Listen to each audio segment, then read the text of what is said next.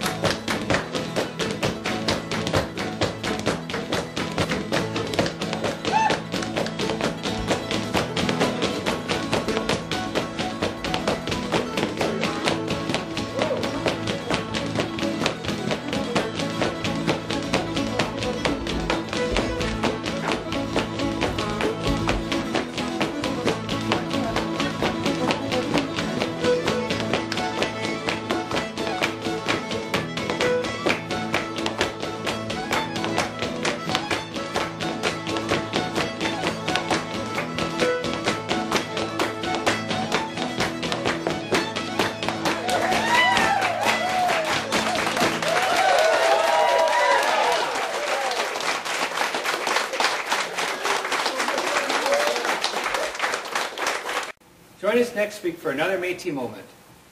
I'm Dave Robertson.